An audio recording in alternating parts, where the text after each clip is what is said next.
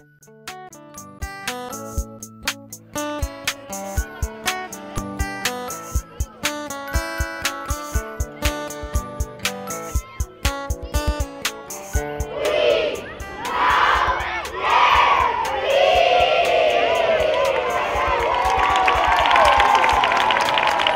és el primer dia de la Setmana Mundial de les Immunodeficiències Primàries eh, i arreu del món es fa una enlairada de globus per donar a conèixer aquestes malalties.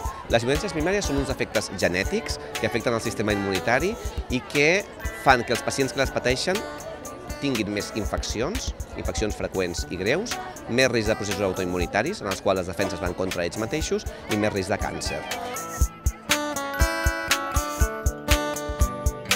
Jo tinc immunodeficiència variable, que es diu, que és una malaltia molt heterogènia. Al ser malalties tan minoritàries, la gent no les coneix, però no sap la gent normal i a vegades els metges de capçalera o que no estan tan especialitzats tampoc ho saben i els has d'explicar tu.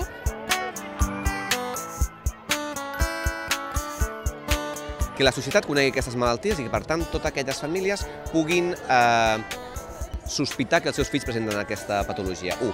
Que els professionals estiguin ben formats i després, evidentment, que hi hagi prou finançament per la recerca d'aquestes malalties que estan dintre del grup de malalties rares.